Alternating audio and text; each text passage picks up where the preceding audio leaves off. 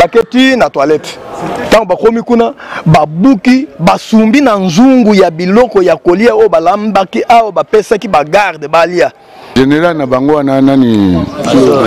major wana alobi ke major nani faut otanga kombo ah, numbi numbi alobi ke felix aza etiquette cibango aza na hôpital bato babungisi biloko baapareil bana basi oyo ya, ya biso awa ordinateur ebungi bayibi moto na ngai ya sika oyoki ebungi bayibi yango lobi na appareil android bawuti koyiba yango kaka awa awa na bapolisier na bamilisi wana akufi ya solo bon mutu mpenza akufaki bato akufaki parce que ntango rumeur ezo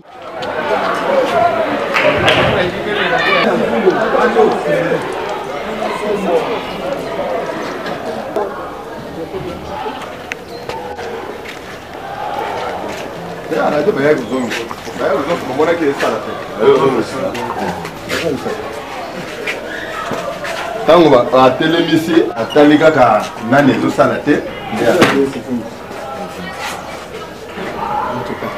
bato bayebi ata biloko yango akosimba te okozwa eloko moko okolala lobi okolala na butu te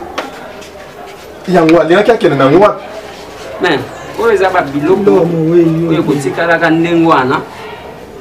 ya ke basalaka référence honorable ya kokamwa ezali ke ya kosumba na nzungu un officier kote nini awa na nzungu ya biloko balambakabake kopesa bato mpo balya mais nani numbi azopesa ordre babebisi biloko basumbi e policier azumisi bilamba avandeli nzungu asumbi asubi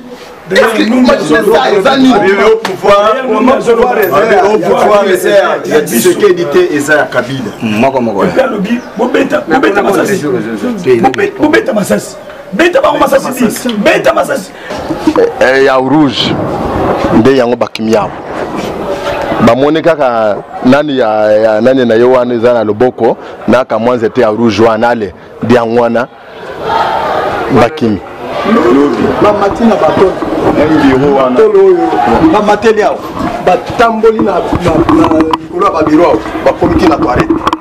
babuki on doit sanctionner.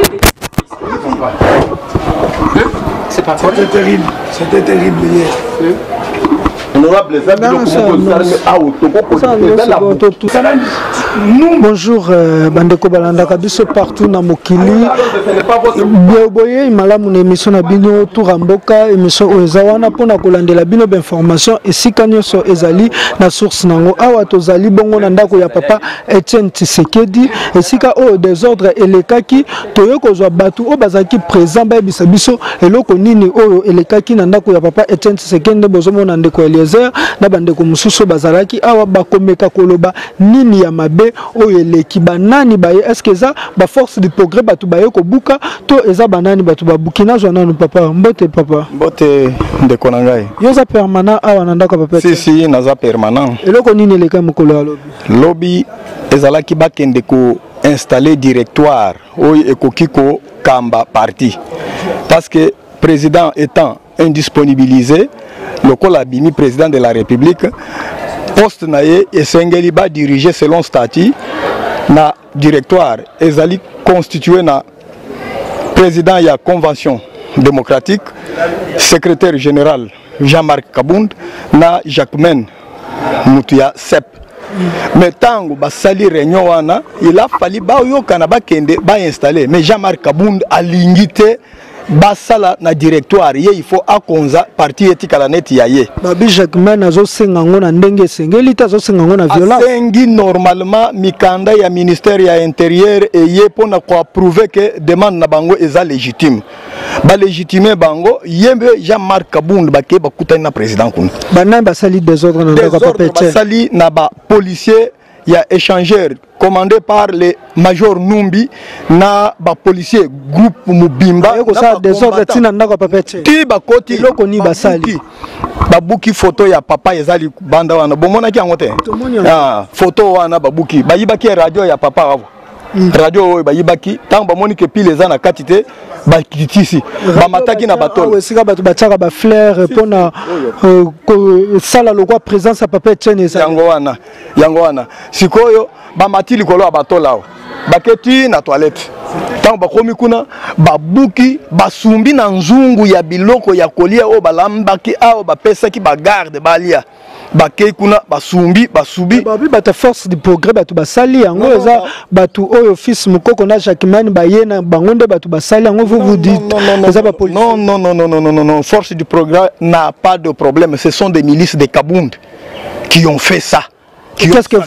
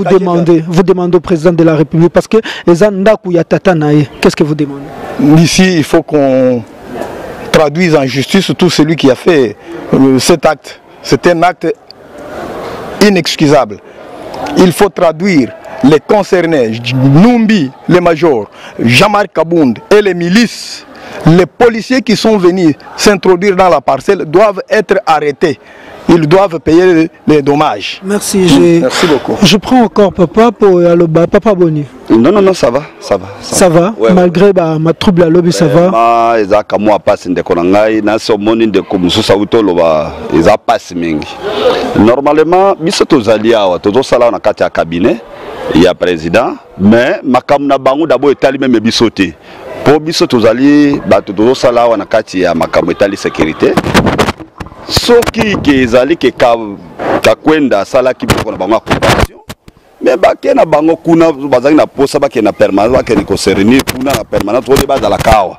mais tocomprendre te kokende bango bakei biso totikali awa bato wana baye na bapolicier mais selon ndenge toyoki bazali bana ya kingabwa baza na kati bana kingabwa banani bamemi bango ti awa papa pete bazali bato ya secrétaire général nde kabundi mutu aye na bango po babebisa ndako ya papa etienne tshisekedi d'abord ntango badesordre ezalaka liboso ata bakosa desordre me bakomaka awa te me tocomprendre te baye awa kosebe desordre bakoti na kati awa donc bapareil nyonso bamotorole tosalelaka awa nyonso basi bayibi bapolisier 30 policier bakoti awa donc batelefone ezalaki ya ba que vous êtes sûr vraiment que policier alongola ye bilamba asumbi na nzungu ya biloko ya kolia oui d'abord meme kosubela soki okei kotala cuisine ezali wana cuisine ezali wana bake basubeli me bozosala boye mpo na nini oyo oh, bokomona mpo bino bolukaki bokomona mpo na bino bofandi se sikoyopolisie bazolobela bongo bamosusu bazalaki meme ya tennis civile bazoya Bon, bino bozoluka nani? Bon, nde voilà epesi biso ba pasi ya kosakana te bilo ba document na biso ebebi bayibi ba telefone ba motorola ba mbongo soki oke meme na deuxième parcelle bisika baninga mosusu bazali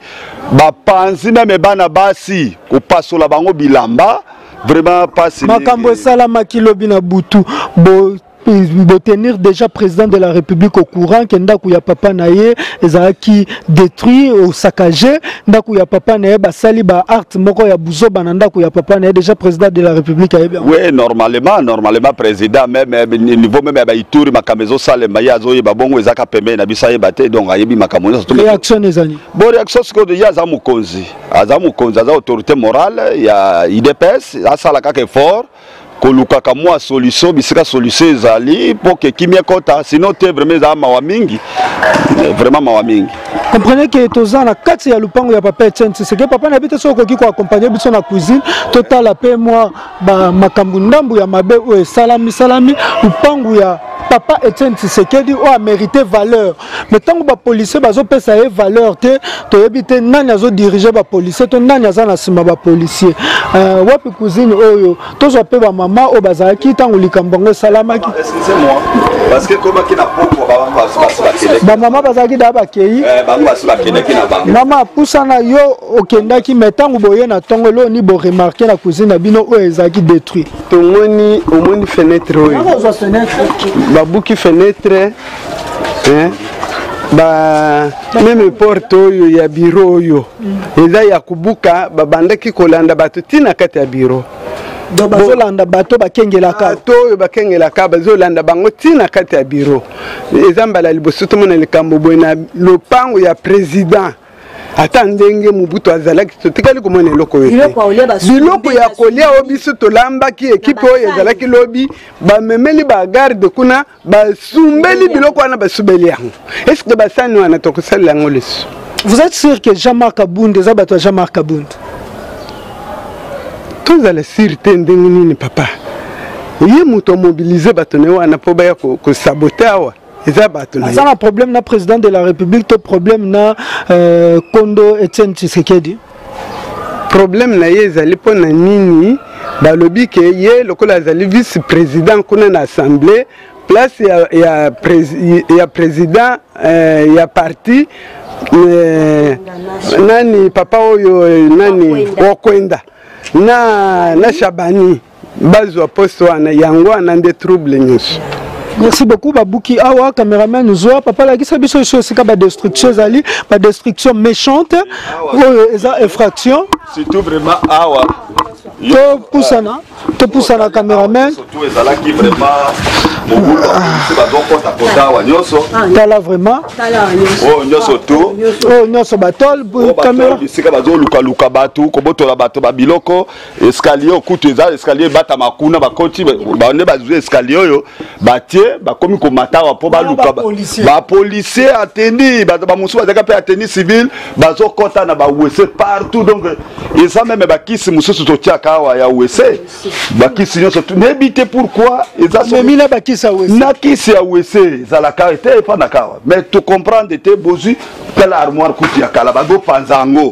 baarmoire ntango mosusu eza badokima mosusu ezalaka badokima kala ezalaka awa bazwi nyonso tocomprendre te eza nini esakompanie tomona bisika mosusu basali mabe mpo tozwa libanda bandeko mpe tomona mpe badestruction oyo esalami libanda boye mpe oui, so euh, tozwa nyonso vraiment tokotika eloko te tomona ndako ya kondo etienne tshisekedi kondo etienne tshisekedi oyo azalaki moto ya valeur kondo etienne tshisekedi oyo azalaki moto ya kimia lelo oyo bomona ndenge babuki ndako na ye nyonso tu awa bamotorola ezalaka awa bisika tochargeaka tochargeaka bamotorola awa tochargeaka bamotorola awa oyo eza ya mosala batelefone awa na basinga mosusu ezala kutu na moni asinga mosusu mpe eza te ya longe na comprendre oyo nde sikoyo bango ka bazokangakanga bakangi mpo bakende na yango sikoyo ndeko mosi atuni eme papa basinga oyo eza basinga biso tochargeaka sikoyo batelefone bazwi sikoyo bacomprendre te likambo wana esalemi tocomprendre te esali biso bya pasi pasi baawa bakiti ezalaka ebele bisika basala bareunion bakiti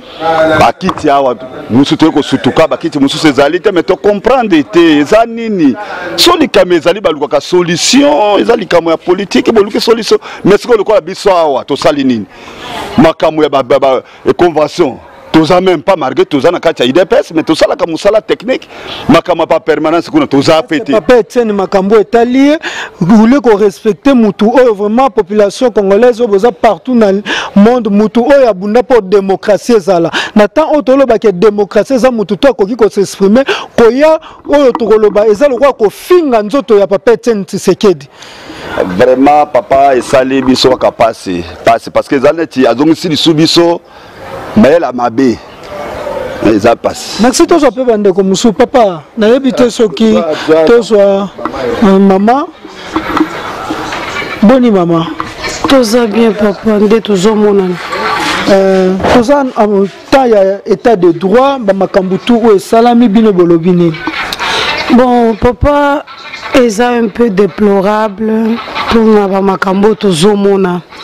tozoyeba te eloko nini eza na se tozoyeba te eloko nini eza na nsima na eloko euti osalema quelque soit baproblème ekoki kozwama na kati ya ndako nyonso baproblème ezalaka kaka okobota bana me oyebi mitema bana te mwana mwana aza na façon ya koagir na façon d'être na ye me wana ekosala te ke mwana mosusu asupprime droit ya mosusu me soki ke koyokana eza te toyebi ke makambo wana elekaka na niveau ya permanence nde bisika secrétaire aza ndenge balandani kuna mais awa eza na résidence ya président tisekedi oyo awuti kokufa oyo eza ndako na ye donc makambo wana deux années ke toza na kati ya parcelle oyo nanu tomona yango te na niveau ya kebaya babuka bakiti libanda bakota na lopango basoda baza na likolo ya batole awa excuse jean marc kabundu eta première euh, euh, vice président ya assemblée nationale est ce que akoki kopesa la police ordre basala makambo wana to motu moko aza na nsima na ye ndenge bino bozomona yango na biso mpe tozomona ke eza na bato mosusu baza na nsima ya likambo oyo parce que ye koma akopesa droit na la police bamenance population oyo esali ke ye akoma place aza ça n'a pas de sens parce que moto mpo opelisi na ndako oyo okoleli oyo ovandi ça n'a pas de sens soki ke eza bato mosusu baza derrière likambo oyo mpo ba se faire gloire mais baechoue nzambe na biso aza molongi ndenge apesi biso pouvoir ndenge mpe alongisa biso na baplan na bango nyonso bokutani na ye boye banda makambo esalami lobi ubi ata na telefone bobengi ye c'est un peu difficile mpona komona ye de un soki olobi okóma na permanence kuna ezalaka na bakale na bino bato ya kala mpo ozwa kaka accès ya kokota na bino bato ya famille eh, etienne tshisekedi baboyi bino bokota na permanence c'est difficile c'est difficile comme on le dit c'est difficile c'est difficile eloko nini bokoki kosenga na mokonzi ya mboka azali mwana oyo akoli na ndako oyo babuki mpe mwana ya papa oyo basakani ba na ye na mokolo ya lobi eloko nini bokoki kosenga na ndeko na bino bon eloko tokosenga aza deja mokonzi ya mboka aza lisusu président ya parti udps te toyebi ke udps eza parti oyo ye awuteli mais lokola asa komi mokonzi ya mboka azotelemela likambo ya état de droit eza nde moboku ya likambo na eza état de droit udps eza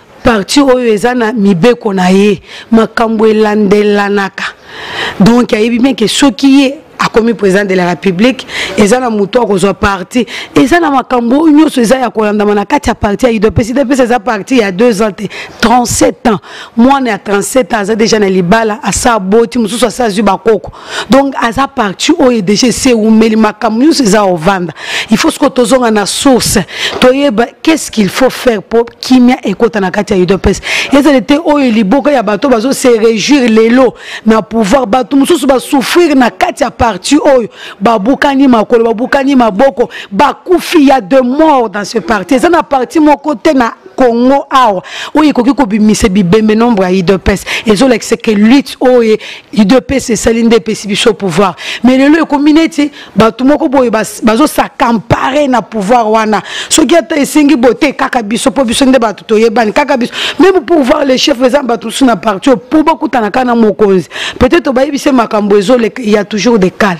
bino bato bofanda na ndako bokutana na mokonzi te tokutane wapi bino bato ya ndako na bato ya ndako mokonzi bokutana nde te bon nayebi te soki eza bato mosusu bakutanaka mais mokonzi aza moto okutana ne neti moninga na yo to tous les jours non soki ke osengi audience bakoki koautorize mais eza toujours bakale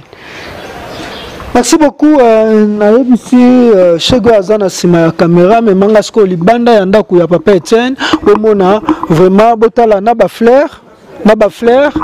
ya il faut ko dénoncer ba makambu oyo pona toke liboso kupe na mona photo ya papa Etienne Tshisekedi eza ya kopanzana panzana ya kotoboka tobima sikoyo libanda ya lopango ya papa Etienne awa toza bongo libanda yaka kolakisa bato bamona tomoni mpe bato bazoki tozwa mpe bato bazoki bokomona ndako ya papa etienne yango oyo totala ndenge ekomi eta oyo ndako ya papa etienne ekomi ndeko mbote mingi oza permanent awa na ndako ya papa etienne okoki kobeta mwa lisolo ya mokie ndenge biloko ekomi boye bakiti ekomi boye merci Euh, makambo eleki awa ezali étonnant epuis ezolelisa mpo na nini la première des choses président etienne nanu bakundi ye te nanu bakundi ye te aza nanu mais ce qui s'est passé c'est étonnant eza sabotage sabotage ya boye Qu'est-ce qui s'est passé makambo ezaki na niveau soki ya permanence il a fallu esuka na permanence mais comment ça quitte permanence ya parti elongwe kuna na basoda soki 12 dip ebele baye babandi kosabote ndako ya president ya basoda eyaki awa balandaki bato te bino bobombaki bato ya mabe na kati te yango bao bayaki est ce que awa d'abord bato ya mabe bazalaka première question nako pose est-ce que bato ya mabe bazalaka awa oyo eza résidence privée ya président etienne tshisekedi wa mulumba eza résidence privée na ye eza fils mukoko te moto ayaki na bato na ye bapanza mpo balobi fils mukoko na jacquemaine bato bazomema desordre eza bango te bato babengaki bato na baboya tokea kopanza eboya tokosela la police ce n'est pas même ça vous savez oyo ekomi combat politique parce que eza lisusu normal te fils mukoko avanda kaka te oyo eza ndako ya fils mukoko te awa ezali ndako ya président etienne tshisekedi ya mulumba fils mukoko awa ya ndako na ye te alala kaka te comment ça fait-il makambo ya fils mukoko biso toyebi yango te awa na présidence ke fils mukoko ayaki awa eza ndako na ye te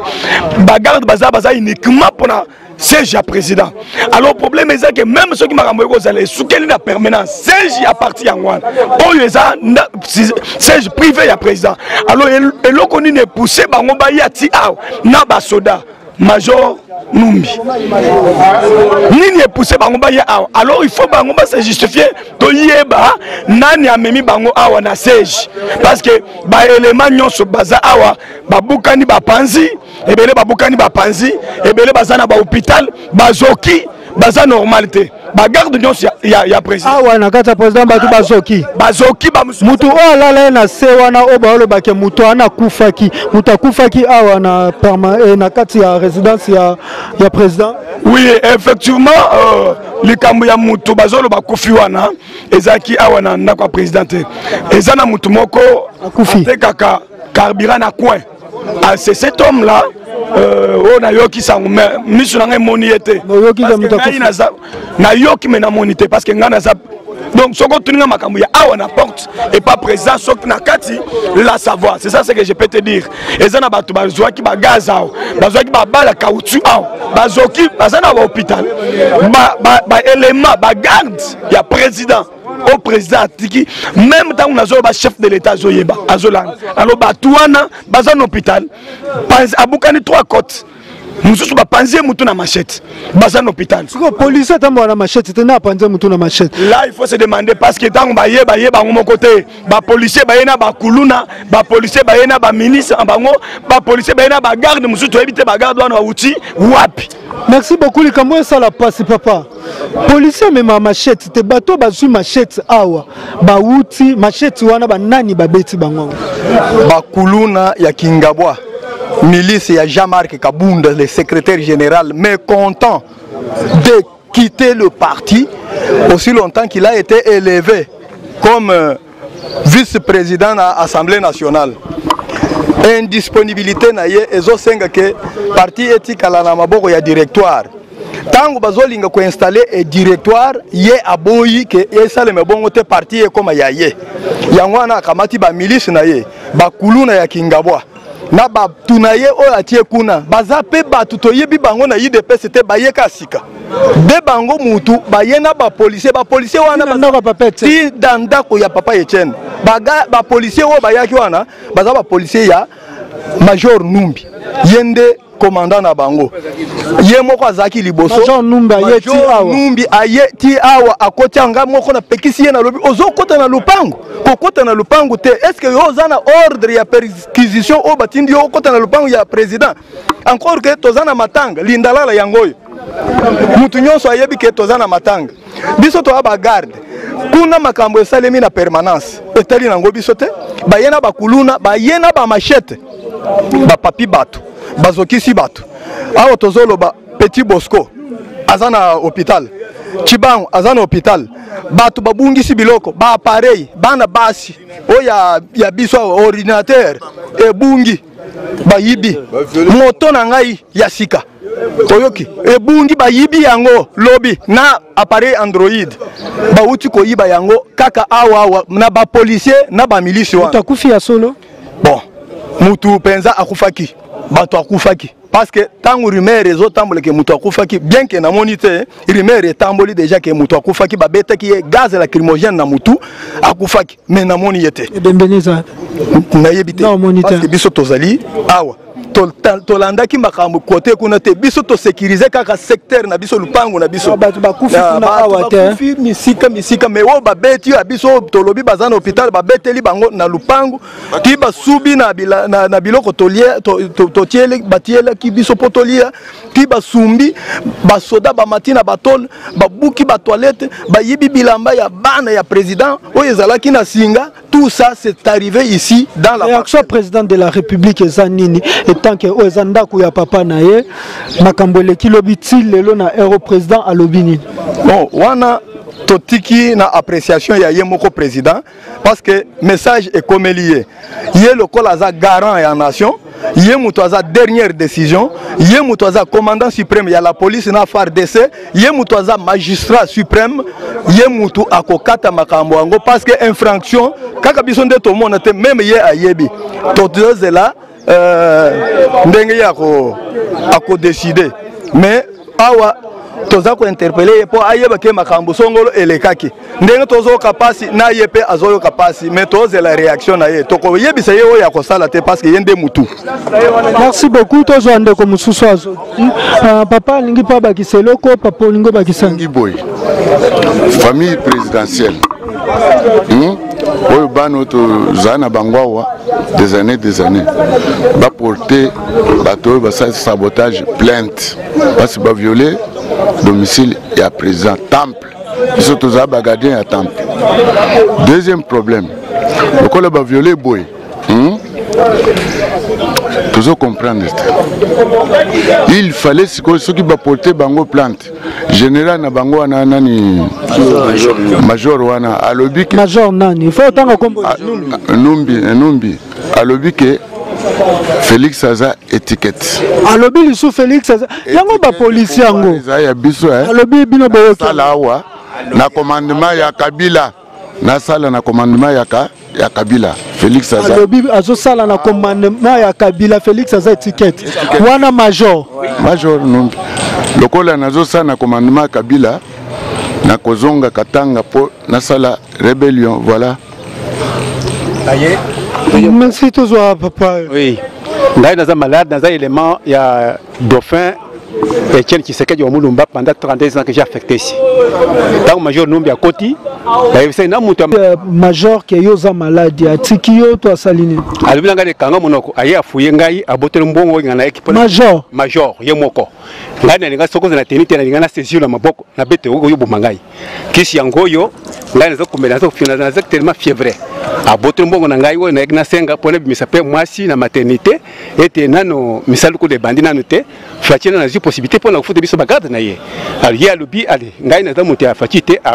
atie maboko na poche abotomoto ya faci te aza moto ya nani ye ye aza moto ya kabila alobi aza moto ya kabila ah, ngai naza moto ya faci te mpo nayekoyo mawale atie loboko na poche aboto mbongo na ngai 500 dollars oyo ngai naye kosenga lisalisi nabimisa mwasi na mateni te ngai nalobi na ye te soki ozali na teni te ngai na simbi na teni liboso oboma ngai ngai na simbi na teni na kabundo oyo atindi yo te kende oboma bakar bino nyonso olinga boboma ngai nde wana yango nde tobendeni wana nde bamosusu akei alandi mpe na mwasi eh, mwana ya ndeko na ngai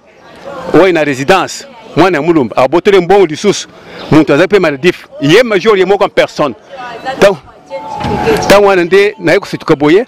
nazomona kuluba bapolicier bazolanda nde na nsima bayibi ti na loso oyo balambaki bazosoba ti na babiloko oyo balambaki mpo na bagarde nde likambo oyo major oyo asalaki lobi na miso na ngai en tant que officier congolais d'accord merci beaucoup papa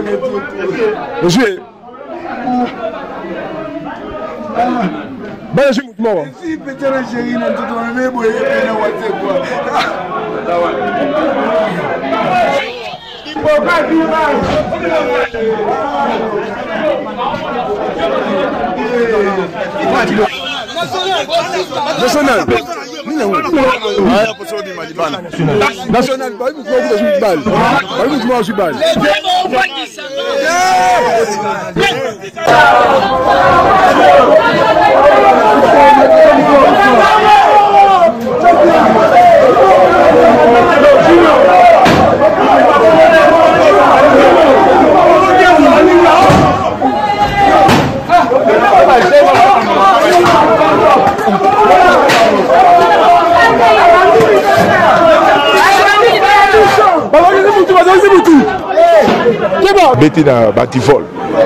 biloko wana nyonso nazwaki yango lobila ekonse bona aye na butu napesi bango trois biloko wana nyonso twa minene mpe tokangi deux machette oyo basala ye sabotage kuna ntango sikoyo polisi azalaka na machette te machette na milisi oyo ya kabunda bagarde oyo ya permanence bazalaki akompagne na bango bazalaki akompagne na bango bagarde ya udps bazalaka na machette oyo baza na permanence oyo baza na permanence boko bamachete wana torécupera oyo topesa conseil bona na butu yango wana sikoyo ntango bango baye baforce porte wana ntango baforce porte wana porte ekoti de jipe ekoti de jipe ntango ekoti subite bana atalaka mbala moko bapolisier baescalade baleki na bafilme armele akwe na nsima jipe ya fe président tshisekedi abimi mbango bala bete pata kue zela bete pata kue nazwi ye bakombata bazalaki na nini babandi kobeta ye baninga nyonso to bakoti le baninga bakoti sikoyo bazoya baye kofungola porte le bafungoli porte ngai na telemi wana arme boye tokoboma yo ngai mpe na telemi ngai boboma ngai lokola ya tisekedi na bakundi ete boboma ngai tokoboma yo tokobeta masasi boboma ngai wana bato bakoti na likolo na likolo ya ndako te na babiro na ototu ya président euh, oyo ezalaki afe président tie tisekedi na biro ya président faci likolo nyonso to basoda na badushe na biso na cuisine soki otali batole eza kuna ndenge data basoda nazo konte bango boye nazoyebisa major bota likolo 32 policier lopango euh, na bato oyo bazalaki présent bomona ndenge nini bapolisie bakotaki na ndenge nini ya solo kuluna soki na kati ya image oyo boreconnaitre elongi ya kuluna moko bobi te ya solo na kati ya lopango ya papa etienne sisekedi bakuluna bazalaki mais heureusement bato bazalaki na kati mondele asunga biso na batelefone na biso mpe topesani rendez-vous balalema na émission mosusu tour ya mboka epai ya bino trésor bukele king merci donc eh, bino moko boyoki ya kokosa eza te mpo bolobake bakosi biso likambo ebandaki na eh, apk assemblée provinciale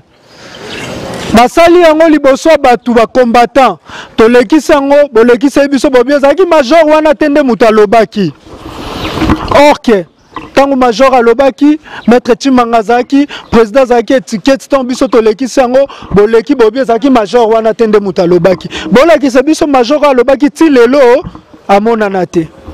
awa ndako ya kondo etienne tshisekedi moto oyo fo topesa lokumu biso nyonso mpo lelo soki alternance esalami eza mpo na kondo etienne tshisekedi abundaki andimaki kozwa bafimbu na epoka mobutu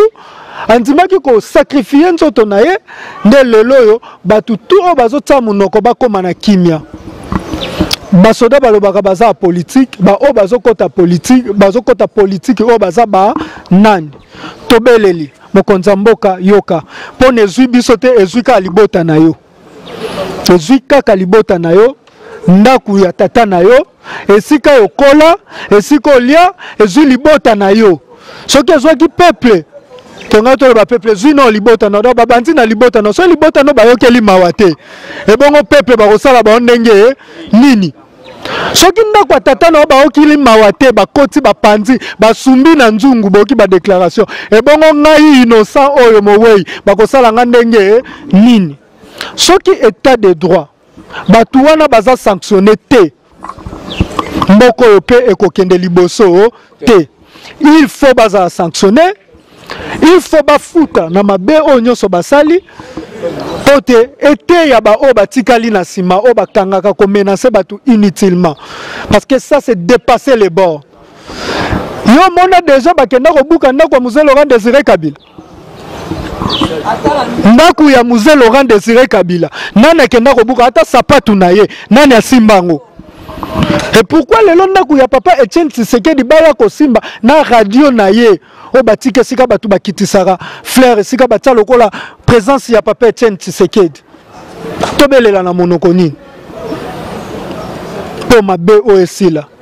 tozozela tomona bango na justice tozomona tozela tozozela tomona bango derrière les barreaux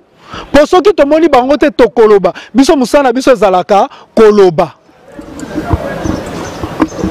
mpo ata obomi basusu bakoya bakoloba merci beaucoup tokutani mbala nsima na émission oyo tour ya mboka me tokolandela makambo oyo ntina suka tokozonga kaka na famille toyeba dosie yango ezokende ndenge nini mpo ntango badesabillaki bajournaliste tozwa ba image bazokotisa bana basi misapi ba policier on a ces images là balobaki ezalaki bango te na assemblée provinciale balobaki ezalaki bango te mais toza na ba image mokonzi ya mboka yamba biso tolakisa bino image moko moko tala ndenge bazokata bana basi bilamba tala ndenge bazobeta bato ya udps oyo baye kosoutenir motu na bango lora bato mona sanke basala eloko moko bazobeta bazokotisa bango na bajipe il faut ko discipliner la police mpo mosala la police eza ko protéger civil na babie na ye oyo mpe eza bien papa etienne aza civil aza militaire te famille eza eza bacivil